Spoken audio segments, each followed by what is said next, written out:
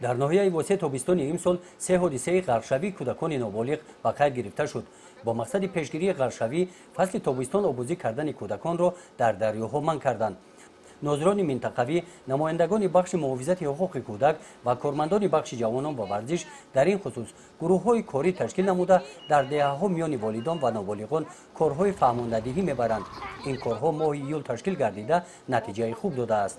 Рози баъди ҳамин وقتی اوویزور اوویختیم که اوبوزی قطعا من است کم, شده است. شماره کودکان. شماره کودکان هم اوبوزی کن کم شده خب چندین مراتبه با حسین گازیت برو دادیم. در جماعت دهات بنام رودکی که در احاطه دریای یاسو واقع گشته است با مقصد پیشگیری آفات های طبیعی و رفت اجرای قانون جمهوری تاجیکستان در باره مسئولیت پدر و مادر در تعلیم و تربیت فرزند با اشتراک اهل جماعتچگی دهات واقعی سودمند دایر گردید.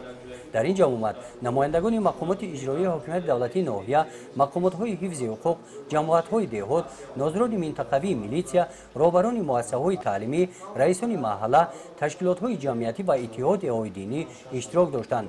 Дар ин вохӯрӣ барои пешгирии ҷиноят дар байни ноболиғон зуҳуротҳои номатлуби ҷаҳони имрӯза аз қабили шомил гардидани ҷавонон ба ҳар гуна ҳизбу ҳаракатҳои характери ифротгароӣ дошта қайд карда шуд ки ду нафар сокинони ин ҷамоати деҳот иштирокчии низоъҳо дар давлатҳои бегона ба қайд гирифта шуданд наздикони онҳо дар ин вохӯрӣ иштирок доштанд онҳо баромад карда аз кирдори фарзандони худ изҳори пушаймонӣ карданд дар ҷомат қайд карда шуд ки аз ҷониби нозирони милисия дар ҳудуди ҷамоати деҳо дар давраи таътили тобистонаи мактабиён байни наврасони ҷавонон корҳои тарғиботӣ гузаронида шуданд оини рафти иҷрои қонуни ҷумҳурии тоҷикистон дар бораи масъулияти падару модар дар таълиму тарбияи фарзанд бо волидон суҳбату вохӯриҳо доир намуданд Дар ин вохӯрӣ гуфта шуд ки бо мақсади пешгирии ҷиноят дар байни ноболиғон ва дигар ҳодисаҳои номатлуб бояд бетарафӣ зоҳир карда нашавад.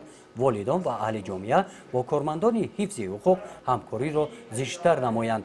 Гузориши хоҷа назриев худойназар зуҳуров аз ноҳияи восе барои барномаи иттилоотии навид